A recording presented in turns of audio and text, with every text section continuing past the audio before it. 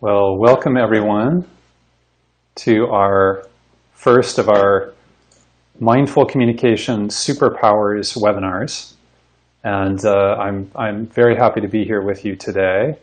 And especially with all the people who took the quiz, whether you're a, a deer or a, an eagle or a lion or a horse or a cheetah, I want to say that you're, you know, you're in the right place. We're going to talk about your communication superpower in these webinars, and uh, and let us know in the comments section. Let us know what animal you are if you took the quiz, uh, what profession you're in, and uh, also where you're at. We're curious where people are tuning in from. So um, I want to say we're going to we're going to celebrate our own superpower. In these webinars, we're also going to explore the other superpowers to delve into the areas that maybe we're we're not as familiar with or we're not as natural in our abilities with. So, uh, and I also want to remind you, as I did in the in the assessment videos, that you're not just one. You're a mix. So we don't have to be too um, particularly tuned into one. We can expand out and we can learn we can learn the others as well. So uh, I am I, obviously I'm Greg Heffron. I'm the executive director of the Green Zone Institute for Mindful Communication, and um, I've been helping others understand these superpowers for 11 years now.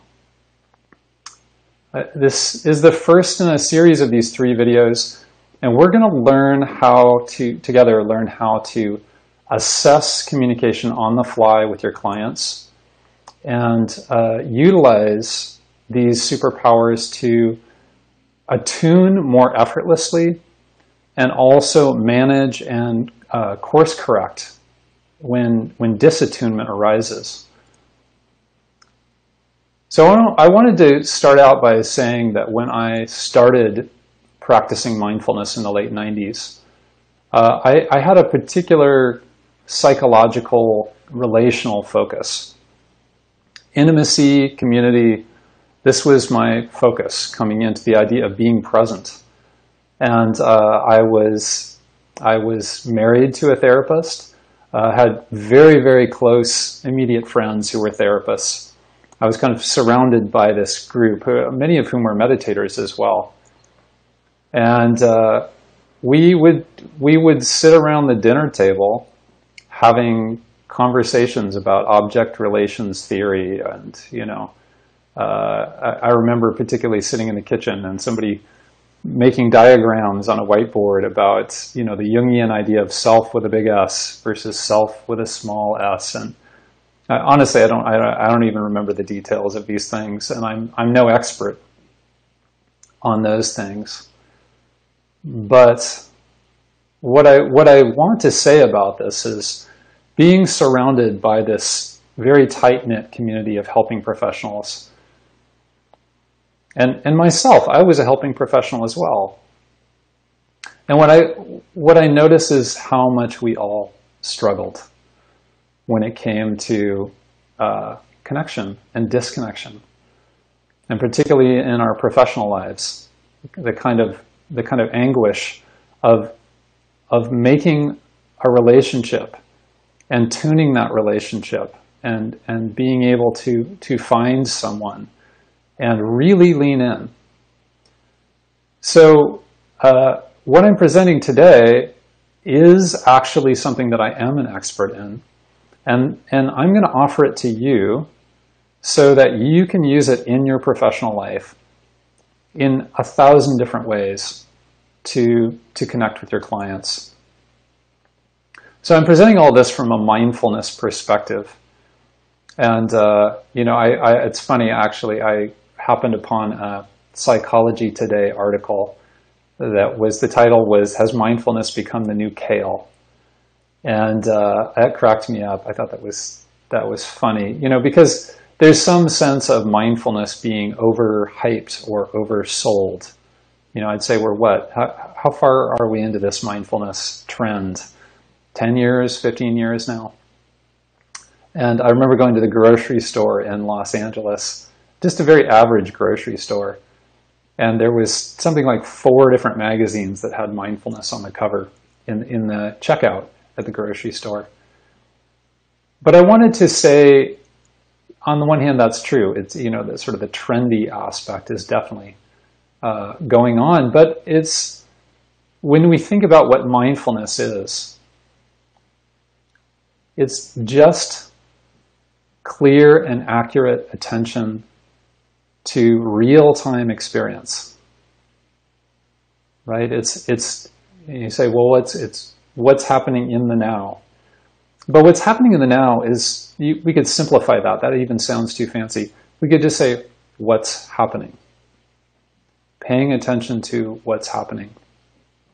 So this being oversold or overhyped actually boils down to it just being described in an unrealistic way. You know, it's it's it's not being accurately portrayed. And it's in a way it's a lot simpler than that. So, you know, whether you're a therapist or a coach or a mindfulness trainer or whatever your profession is, you work with your clients to to allow things to become conscious you know, that's how we gain agency is by becoming conscious of opportunities, patterns, you know, tendencies, um, emotions, thoughts, our bodies. And so you could say, you know, you're, you're, you're trying to point out things so that they come into consciousness. You could say that so that they come into mindfulness. That's actually the, it's actually the same notion. And um, I think all of you know that something like this is not a quick fix. It's not something that could be rigidly enforced or, you know, scold, you can't scold somebody into consciousness, actually. It, it has the opposite effect, as, as you know.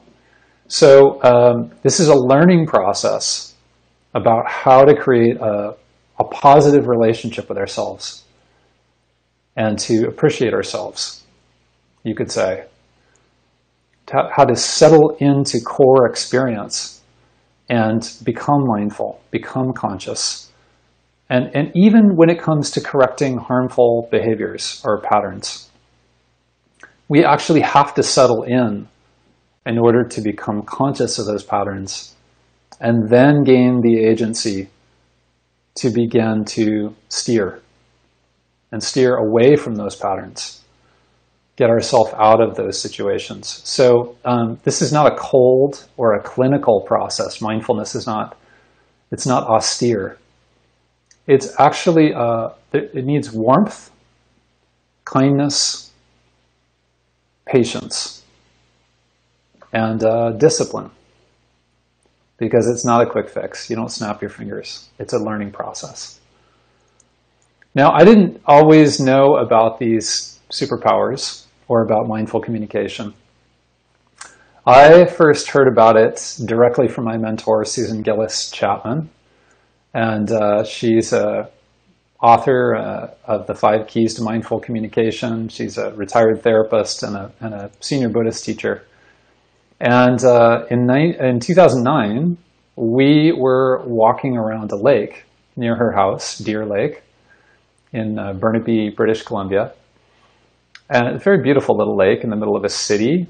You're in the middle of a city, but you can't see the city. You just see the trees and the mountains. It's quite lovely. And she started to explain some of the most basic material, which is what I will be presenting today. And it was, it was like a bolt of lightning went through me.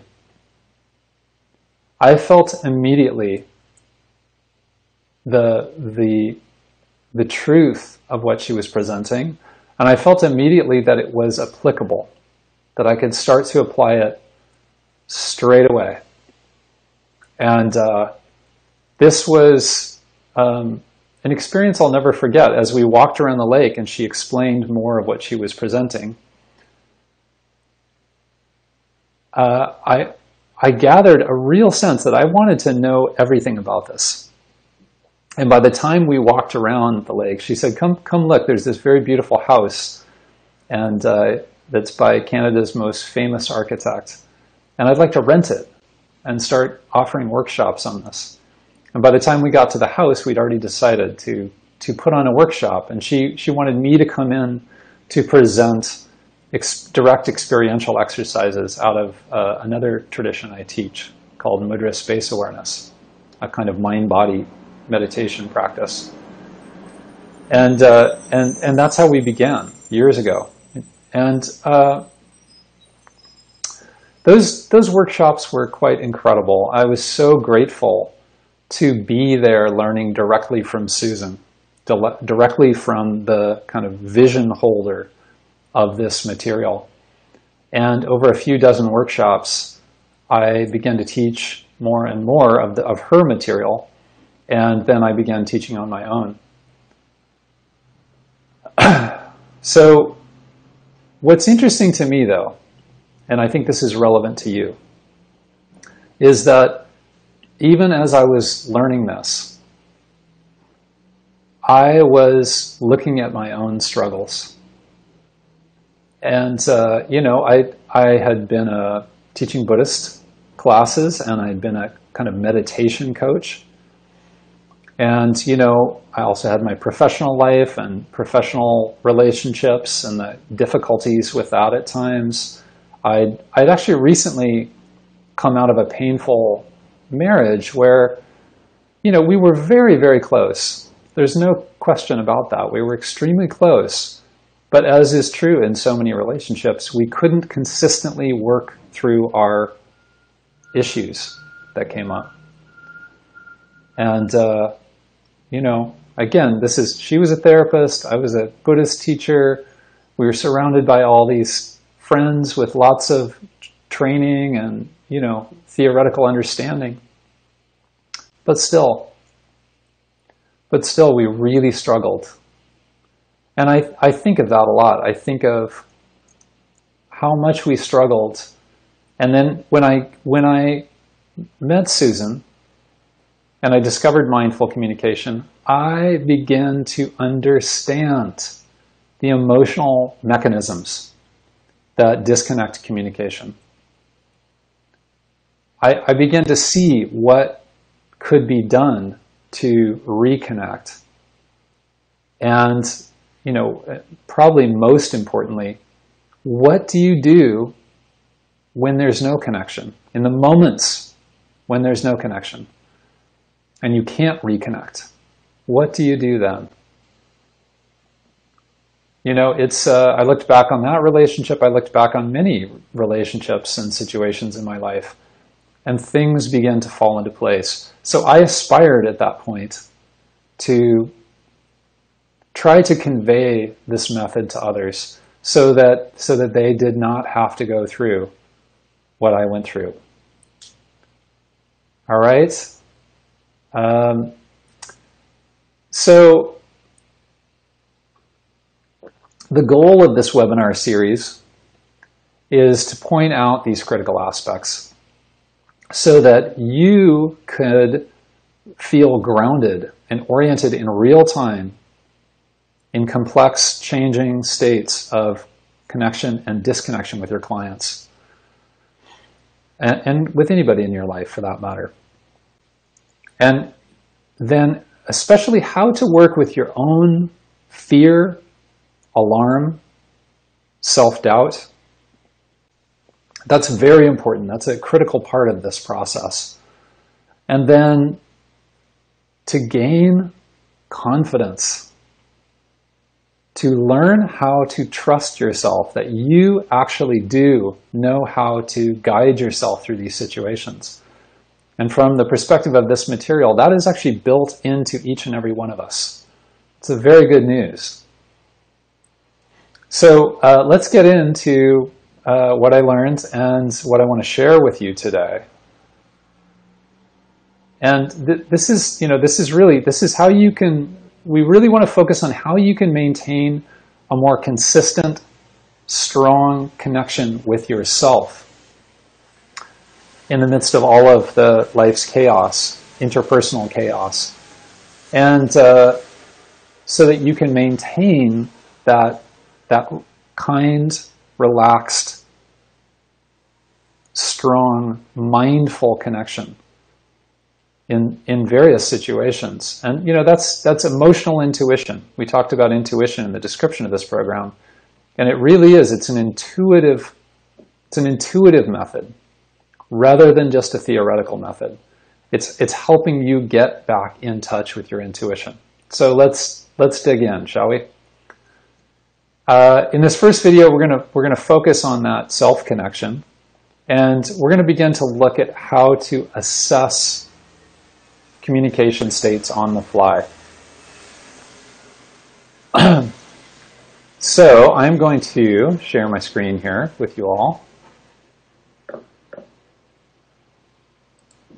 And,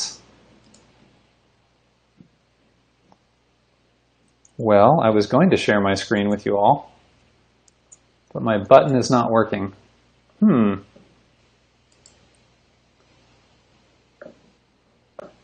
Curious. Okay, well, I think we're going to do this without the slides then. So, um, so let's talk about the idea of communication being natural. And this is really something that I think is the most exciting and encouraging aspect is the idea that communication is something that you are built to do. And actually, you know, this is kind of ironic, right? Because you're a highly trained group. You're professionals who use communication professionally. And uh, the irony of this, this way of looking at communication is that it's actually, you were born with it. You were born with communication. And uh, it, it actually, in some ways, this is almost an untraining process, coming back to that natural state. And you can think of children. You can think of young children. And that kind of openness, that, that kind of open gaze, and that immediacy. Why, why do people, you know, why are we drawn to children? I was just watching a video, a YouTube video last night about a, a father and an infant having a conversation about taking a bath, and the infant did not want to take the bath. And it was one of those YouTube videos that a zillion people watched and liked. And why is it so compelling is because children know how to be incredibly immediate. You know, there's there's a lot of uh, limitations on being a kid. Let's not, you know, let's not whitewash it. But there is something so enlivening about children because they're right there with you. And you know, as people say all the time, they don't miss anything. They're they're they're watching what's going on. They ask the question. They ask the question nobody asks. And in that way, communication, the channel of communication is open. And then often we we train ourselves away from that natural state. So let's let's talk about the natural state. So we're going to talk about this, and we're going to call this the natural communication system. And there's three aspects to this. So aspect number one, we call awake body. So awake body, what does this mean? Awake body means your senses. So from a mindfulness perspective, we're talking about somatic experience that you're seeing, you're hearing, you're feeling, touch, feeling. You know, there's there's uh, your nose, your mouth, all these things. We have we have these um, capacities. Let's call them capacities. These fields of experience, and each one is a whole, huge, rich aspect of what's going on in the present moment. You know, when you look out through your eyes, are you seeing what happened five minutes ago? when you listen through your ears, are you actually literally hearing something that's not happening? No, you're, you're hearing what's happening now. Now we can tune out that information. We can tune out those capacities. We can overwrite them with, you know, mental experience. But in mindfulness, we learn how to relax and realize this body is awake all the time. Uh, maybe not when you're asleep, literally, but when you're when you're upright, when you're doing your thing, then the body is delivering us information continuously. So that's awake body. And then tender heart.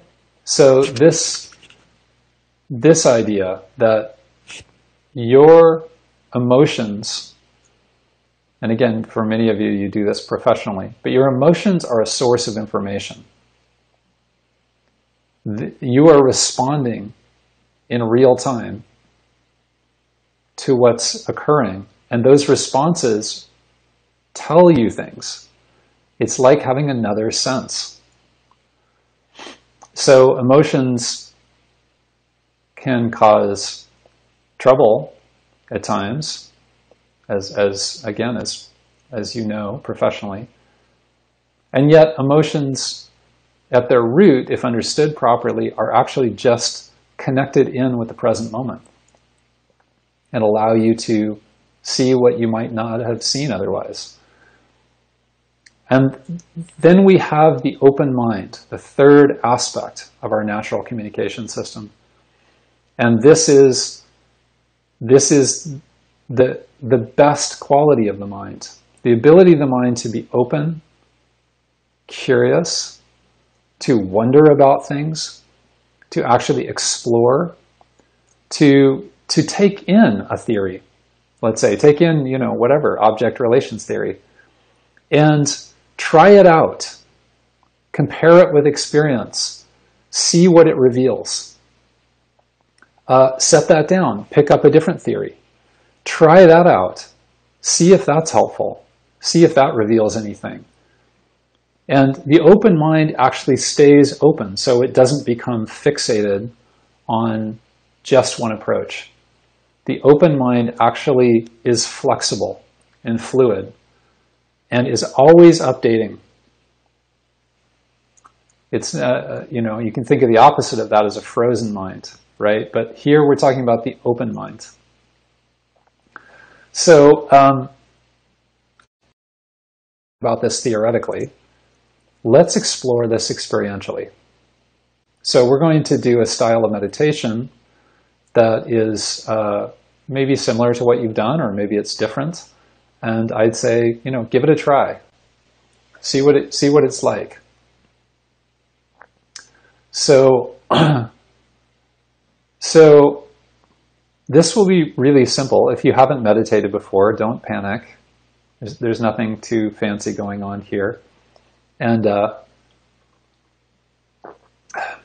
mindfulness, again, is just it's just being ourself in real time. So there's nothing particularly uh, outrageous about it. This is very normal. So our recommendation is actually to sit upright. So if you're, you know, if you're laying on your bed or something, find a comfortable upright posture where your where your back is straight. It doesn't have to be rigid, but just upright. You know, get your get your head balanced on your neck so that you can relax your back muscles a little bit. And, you know, you can put your hands anywhere you'd like.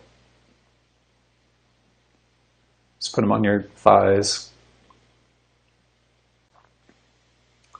And here we, we just begin to slow down a little bit and settle. And what we're going to do is we're going to explore this natural communication system together. So, uh, actually, for this meditation, let's have our eyes open. We'll just have our eyes down. So you don't have to look right at the computer right now. You could even set the computer down or phone down and just listen. So let's begin to tune into awake body. And after we do this, we'll talk about why it's called a communication system. So let's tune in to awake body, and we'll begin with touch. So feel touch in your body.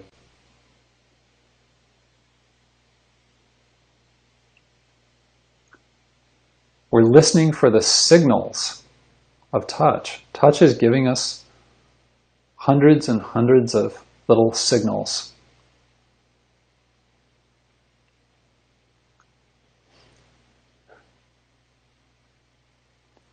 And with mindfulness, instead of just tuning into one signal, let's say, you know, the pain in your neck or something, we actually want to include more. We want to open up. Expand our attention. So you could feel your skin all over your body.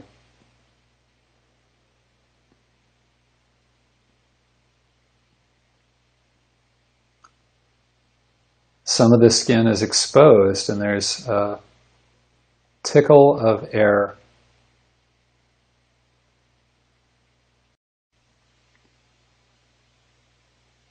Maybe that air is cool or maybe it's warm. But there's that slight sensation of movement of air.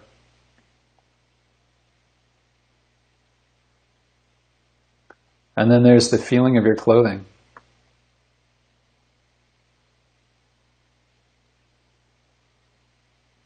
That soft press of the clothing.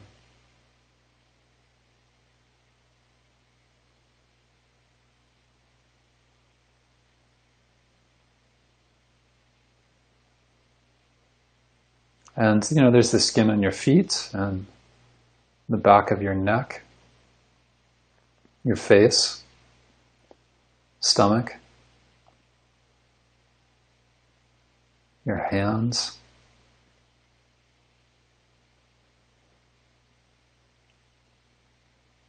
And this is the outside of the body.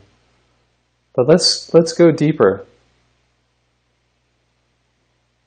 There's the feeling of our muscles.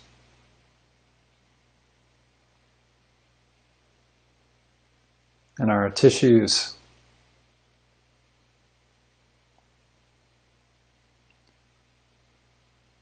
It's the feeling inside your torso, around your heart, stomach, around your spine.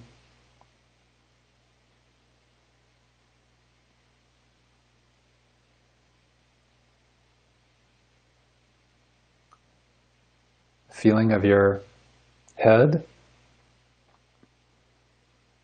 inside. What does the inside of the head feel like right at this present moment?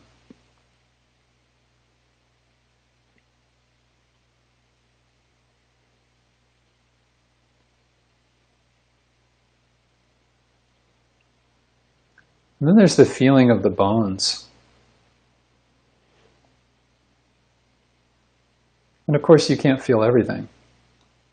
But there's something. There's some sense feeling the bones.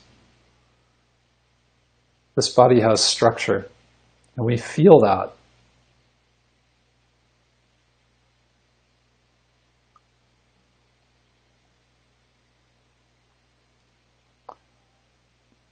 And now, let's bring in another sense. Let's bring in hearing.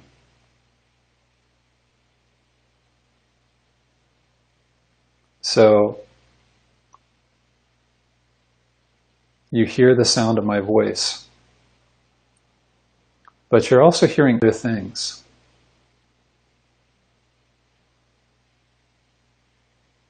Maybe it's the hum of your computer. Maybe it's uh, traffic outside or the sound of your neighbors in the other apartment.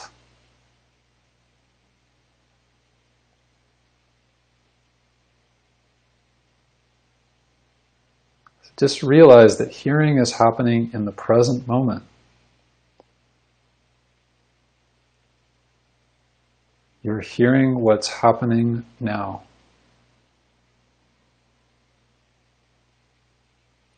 Maybe there's even very, very quiet sounds.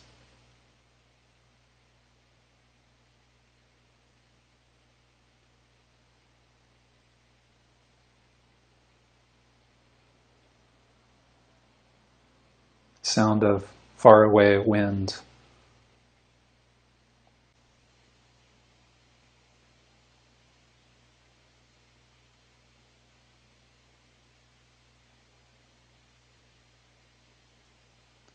And let's use our eyes too. So let's let our eyes actually just open to vision. What's right here, what's happening right now. And we can soften our idea that we have to make a story out of it. Just, just look.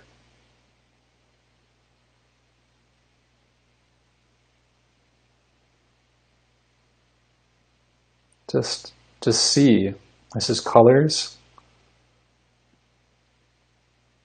and shapes. Just for a moment, let go of the idea the eyes have to function to get you something. Just, just let the eyes relax.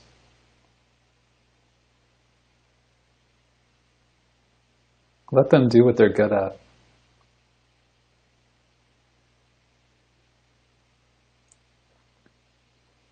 And your vision isn't just at the center, where the eyes are most focused, it's also around the outside. You have peripheral vision. Just soften into all of that.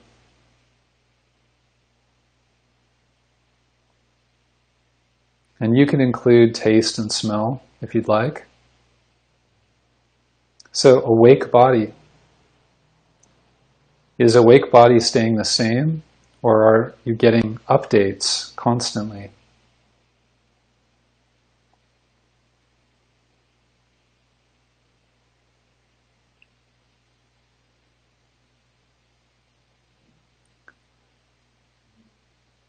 So now let's bring that same care and awareness to the heart. So this is tender heart. Now the heart is tender. There's a, a sense of being vulnerable.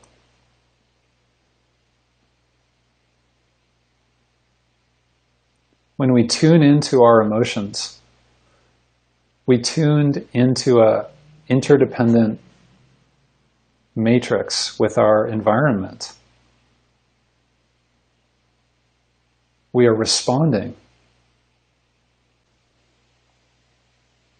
We are responding to what's happening inside, we're responding to what's happening outside.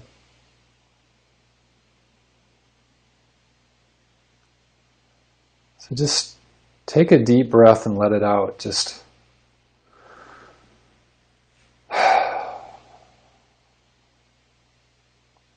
and find that sensitivity. It may be very quiet today, or you might be having strong emotions today. And we're just listening.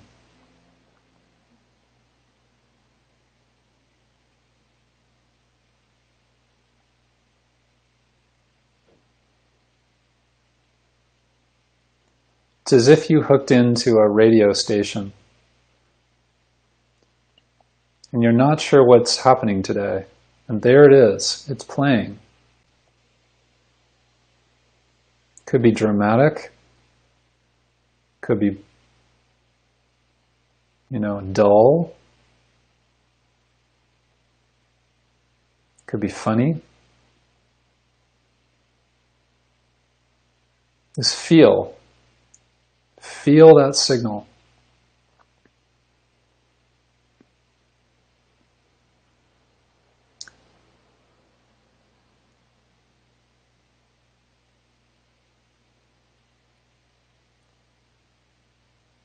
And lastly, let's connect with open mind. So again, this is the best of the mind. This is this mind's capacity to be interested, open, curious. And I want you to actually be curious about the mind itself. Look at the mind itself. What are the thoughts doing right now in the present?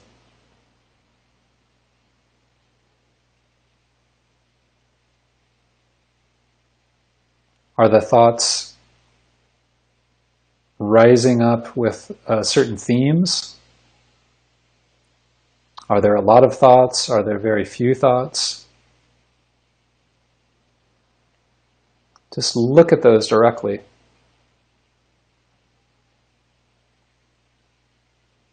You could have thoughts about looking at thoughts.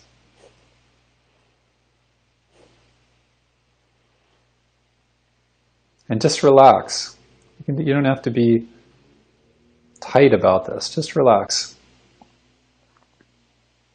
To catch a few glimpses.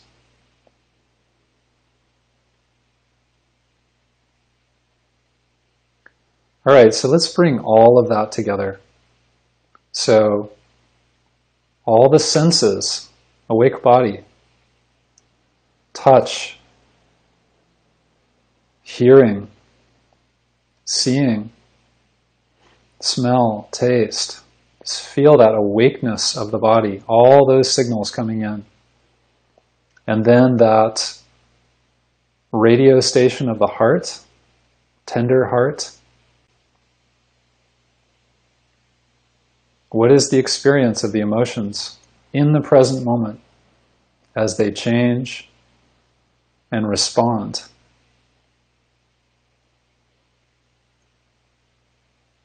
And what is happening in the open mind? Let's feel all of that together.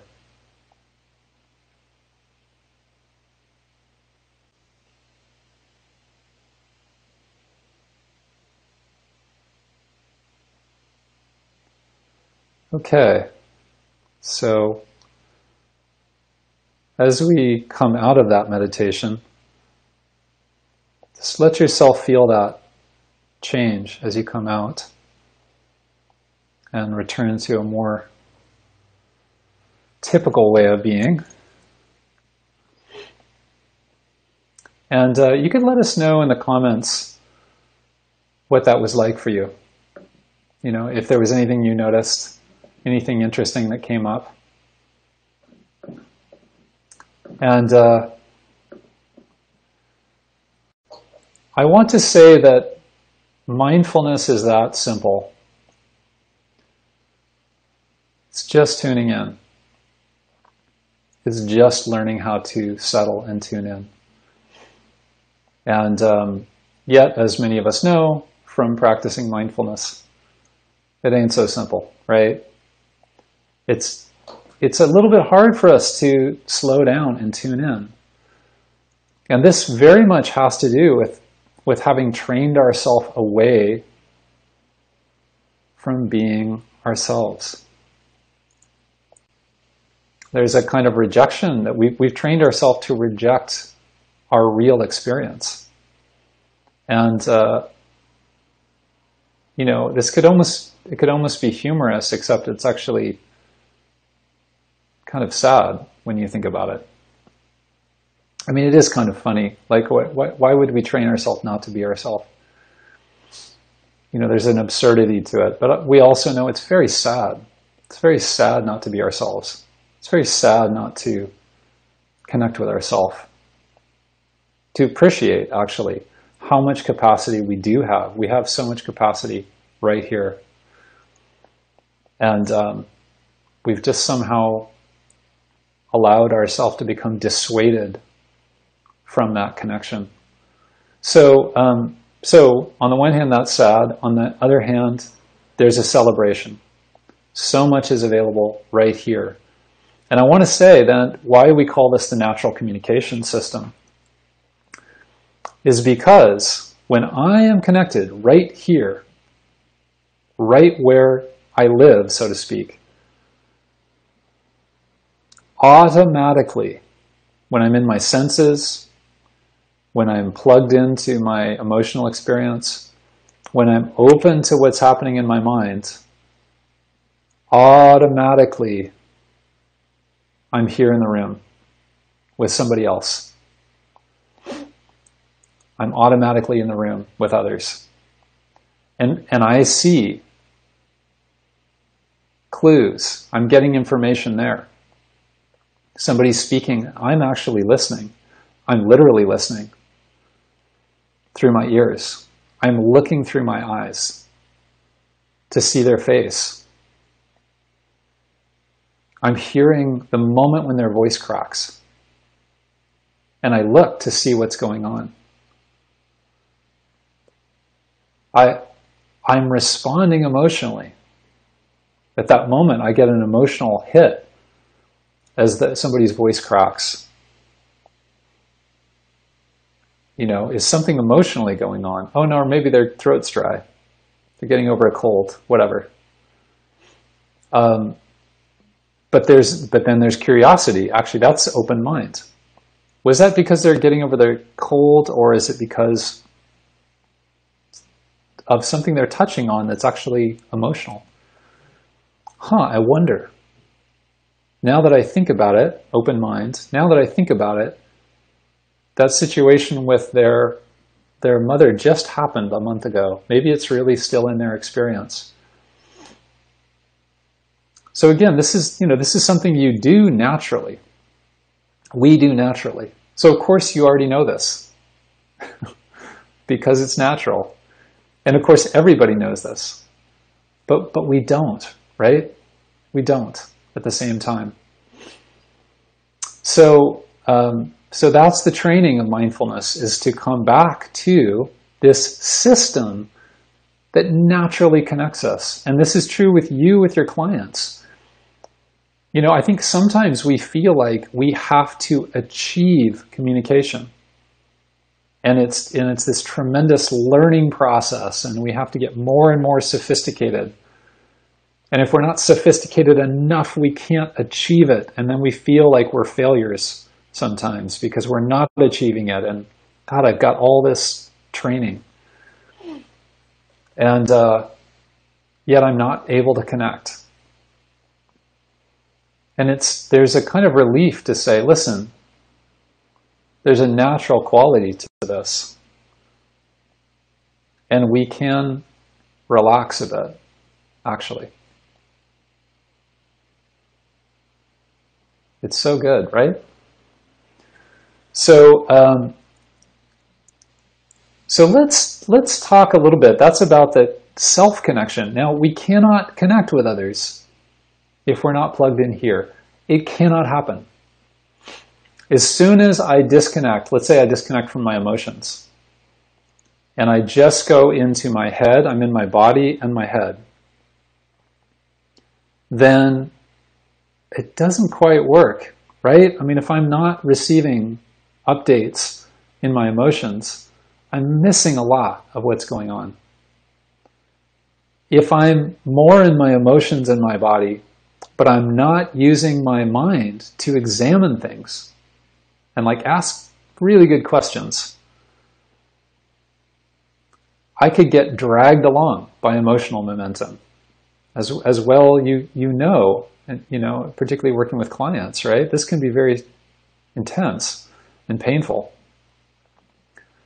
And uh, you know, there's also there's a layer of being kind of stuck in the body and not having access to the rest. It's a very kind of flat state and uh, lacks enthusiasm and enjoyment. It's just sort of going through the motions. So, so we really want all of this plugged in. We want all of it plugged in at the same time. And you say, oh, well, that's really hard to plug all that in at the same time. No, no, no, no, no. We're born plugged in. We're born plugged in. We gradually pulled out our cables. We've, we've, we've been trained to do that. So let's, let's learn how to stop pulling out the cables. Let's get back to the way we are. Let's get back to who we are and uh, enjoy that process of, of making friends with ourselves, you could say. Uh, so now we need to get into the um, the assessment aspect. I'm checking my button again to see if I can share my screen, and it's, it's definitely not going to let me. Oh well, we'll just talk it through. So, um, so let's introduce a very, very simple metaphor. And this is the metaphor of the traffic light. So the, the advantage of this metaphor is that wherever you go, there seems to be traffic lights, for better and for worse, right? And uh, we've all been in traffic. And even if you don't drive, you've been in a taxi or something, right? You've been on a bus. And we, we understand the metaphor, right? So you've got the red light, the yellow light. In some places it's orange and the green light. Although in Japan it's blue, I've heard. I haven't been to Japan. Right, but still, we have basically, we have three lights. And we use this, uh-oh, can you see me? Okay, well that was an interesting technical issue mysterious technical issue. And uh, I hope at least some of you can see this uh, today, or maybe you're just looking at the recording later, uh, which is fine. So, so let's let's continue. Let's uh, let's keep going in the face of adversity. So this traffic light metaphor, the idea that traffic uh, flows when the light is green, so communication flows when we are in the state to be open to communication, when we are actually mindful of our natural communication system. That is the green light. So the green light and mindfulness are synonymous. The green light just means that we are mindful. And the red light is when it stops. So the red light is synonymous with being mindless. And mindless sounds like you have no mind. That's actually not what it means. Mindless means we've stopped paying attention to our basic faculties. We have disconnected those, we pulled out those plugs of our, our sensory experience, our heart, or our mind. And uh, you know, from a clinical perspective, you could really talk about, I think quite accurately, you could talk about dissociation to lesser and greater degrees. And in some ways, it actually puts dissociation into a, into a very normal context. That actually, it's something, dissociation is something actually all of us do to greater and lesser degrees, right? So some people really dissociate very, very strongly. Others of us dissociate more mildly. In each case, the result is the same. I've a little bit left this room. I've a little bit left my body, or I've left my heart, or I've left my mind. I've boycotted them. And there are consequences for doing this. And I think that's, it, it's, there's a reason why this metaphor works and it's because it's very, very simple. Very simple metaphor. So, so let's talk a little bit about how this process works. So when I am cut off from, let's say, my heart, I no longer receive the feedback that my heart would give me about the situation I'm in. So somebody says, um, and this is the red light. So the red light, I'm cut off. So somebody says, how are you doing? That was, that was an intense meeting we just had. How are you doing? And I say, I'm fine. Everything's fine. I'm 100% fine. Everything's just fine. Right? And it's because, and I actually, I actually feel that way because there's a kind of anesthesia, right? Local, you could say local anesthesia. It's localized to my tender heart. And uh, in the same way, when I boycott my open mind, I might be having all sorts of emotional experiences. I might having, be having all sorts of bodily experiences. But I can't seem to think through things clearly. My mind becomes muddled. And uh, somebody says, well, you're, boy, you're still hanging around with uh, Jeff, huh? I say, yeah, yeah, I, I, Jeff is just an amazing guy. I really appreciate him. I think he's just incredible. And then somebody says, yeah, but didn't he sue you and, and took control of your business two years ago? You say, oh, well, yeah, I mean, I, there was stuff, but it's, you know, that's all in the past and everything's like, he's just so, we're just really connected.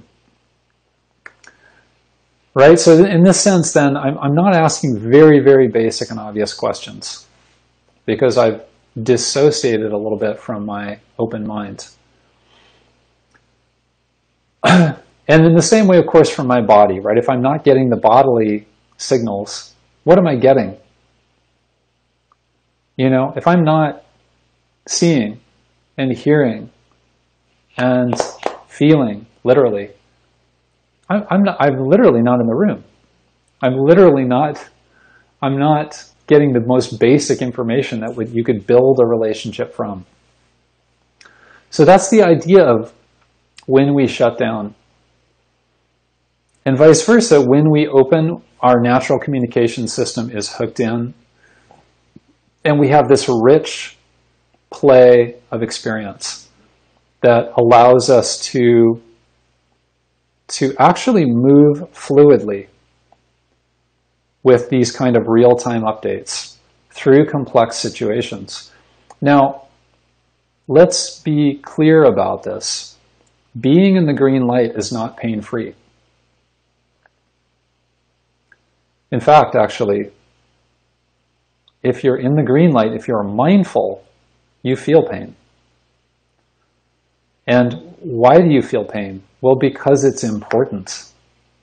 It's extremely important to feel pain. You know, we have nerves for a reason. When you cut yourself, you want to know that you've cut yourself. When you burned yourself, you want to know that you burned yourself. That is crucial. I think of a story I heard when I was a child, and uh, it was a fellow I knew who used to work as a logger cutting down trees in the forest. And one of his fellow loggers had a, an accident where he lost sensation in one of his legs. So all the way down the whole leg, he had no sensation. So one morning he put on his boots and he headed out to work and he worked a whole day. And when he came home and he took off his boot, blood poured out and what had happened is his three-year-old had put a spoon into his boot. And he had walked all day on top of that spoon and cut his foot up just horribly. It, it, I, when I even think about that story, it just, ugh, I can just feel it. Right? And it, and that's the thing is that we are, we are like that. Mindfulness keeps us connected so that we don't walk all day on that spoon. And the truth is that a lot of us, having trained ourselves to be mindless in various ways, might actually do something similar to that, that has real consequences. And not just for us. It's not just that you know, I harm myself, it also disconnects me from the world. So the relationships I have are not as vivid. They don't go as deep.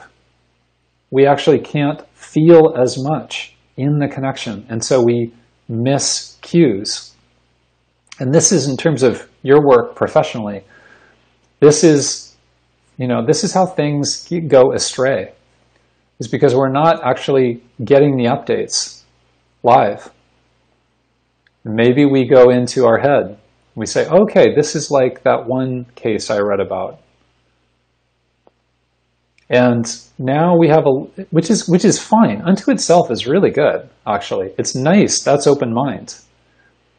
But the, the red light version of that is to focus more on my idea of what's going on than the actual relationship. And that's really problematic. So the question here is actually how to come back down into ourself how to kind of reassociate, you know, re-embody, come back to our somatic experience, come back to our emotional intelligence, come back to that clear, curious mind that can ask the right question, and put all of that together. And I want to talk a little bit about the intermediate state. So the, the yellow light, in some ways, is the most Let's just say it's, it's one of the most useful places to work. The yellow light is actually the state where we start to shut down, or vice versa, it could be the state where we start to open up. It goes both ways. So here, this particularly has to do with anxiety has to do with uh, anxiety, confusion, and you know, oftentimes has to do with a kind of a shock, something that happens that you were not expecting in the conversation, in the room, in your body, whatever. And then a, a kind of brutal tendency we have to take that shock, which is normal. Shock is normal. Shock and alarm, that's actually could be the green light. But to take it and turn it back on ourselves and to become very harsh with ourselves. And so this is the moment, I always point to this moment. This is the moment where you hit your toenail on the table. I did this recently. Got a big bruise on my toe because of this. You kick the table leg by accident oh, there's that shock of pain. And then you say out loud, oh, I'm so stupid. And this is really, I mean, when you really dissect this moment, and think of how normal this is, right? You drop a cup, right? Or you, oh, you forgot to send the email. Whatever it is, doesn't matter. To then turn back, I mean, that's a painful moment. I'll tell you that the, the foot was a painful moment. But, but, but to then turn back and castigate ourselves, we really have to examine how that happens and to recognize that that's a trained response. That is not our natural response. That's a trained response. And uh, we won't get into all the details of that trained response today. But suffice it to say that it's a very, on the one hand, it's a very dangerous moment. Because that self brutality is so painful that one of the things, one of the tendencies we have in that moment is to start pulling the plugs out and to actually dissociate, right? to leave the situation. Now, a lot of the ways that we do that have to do with tuning out. They could also have to do with pushing that kind of pain outward onto an external focus. So the external focus could be um, hatred towards somebody else, You know, God, it was that idiot Philip who put that table there in the first place. You know, it's idiots like that. It's not, I'm not an idiot. Now I'm going to push that word idiot onto somebody else. Um, it could also be, ironically, it could actually be, um, I could I could push that energy out onto an object of of uh, clinging. You know that. You know maybe Philip did put the table there, and actually maybe he's put it there a bunch of times. I keep asking him not to, and uh, I've hit my foot on it multiple times. But I feel desperate to stay connected to Philip. So I'll do anything. So actually, instead, I will, I will feel the pain, I'll feel the irritation. Uh, uh, maybe let's, let's call it anger, natural anger. I've asked him like six times not to put the table there. You know, right between my bedroom and the bathroom where the lights are off in the middle of the night. Like it's, you know, this is, come on, don't put the table there but my desperation to stay connected to Philip, which is another, it's kind of another way of dissociating, another flavor of dissociation, is going to cause me to bury this whole conversation. I won't bring it up. I'm sure he meant well. You know, he's just trying to clean up around here. And, and, you know, I'm sure I probably should just say it for the ninth time. And I'm sure next time he'll get it.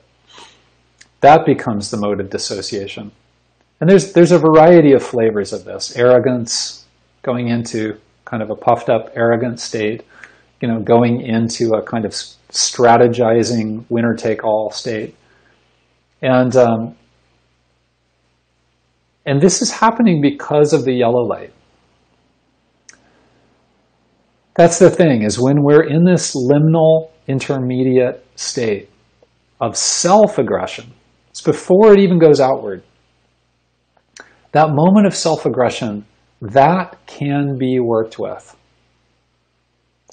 This is exactly, frankly, why your clients come to you. They come to you because they want somebody to actually hold them in that experience with warmth, with acceptance, with curiosity, and to let them go through that process without echoing back to them that harshness. You know, that's a that's a really beautiful moment. You know, when you when I'm saying, "Oh, I'm such an idiot," but I'm with somebody who says, "Well, ouch, that hurt. How are you doing? How's your foot?" You say, "God, I'm so dumb. Why did I do that?" And then somebody else says, well, I'm just, I'm, I'm, I'm interested in you. How are you doing? My God, let me get you some ice for that. Right? It, it helps to cut. It helps to cut that cycle, that vicious cycle. so I think that's enough about the three lights today. And there's so much more to say about these three lights. And and I want to say, you know, I, I'll never forget when I first heard the three lights. And I thought, yeah, maybe that's too simple. Maybe that's that's a little too simple. You know, here I'd spent all this time around very sophisticated people, presenting very sophisticated theoretical models. And uh, I have to say, years into this, that simplicity is the strength. It is the strength. Now, why is that? Is because when I am in that yellow light state of self-attack, ugh, the pain of that is so intense. I cannot get to all those really complicated theoretical models. I just can't. Maybe later. And, and there's nothing wrong with them. It's not like this is a better system or something, right? But it's just this is an applicable system in that state, and that state is crucial. So I want to say that there's actually something very powerful in this because it's simplistic. You know, you literally can teach this to children. I've, I've taught it to children, and they listen. And that's helpful. That's helpful for, for us with our clients in real time. You know, when somebody challenges you and you're shocked, you thought you had a, a strong connection and then now you're not sure, and you start to attack yourself. Oof, that's the yellow light. So then we need to know what to do. How do we actually support that experience, even you know, obviously outside of your session with your client, to, to work with it so that it doesn't tighten up and shut down further. And I also want to say, you know, that, boy, um, you know, you, a lot of you have master's degrees and, you know, you wrote theses on, on topics, very, you know, complex topics. And, and you, know, you know, you might just feel like, well, I do all this anyways. I really do all this anyways with my clients. I can, I can, I can assess all of this on the fly. And I wanted to say, if that's true, congratulations. Like you, you've graduated. You know, that's, that's fantastic. And, uh, you know, it, that's no problem. Hooray.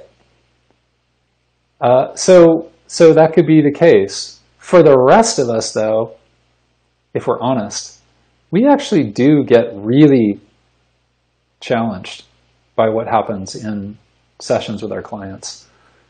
We actually really do feel at times like we don't know what's going on anymore.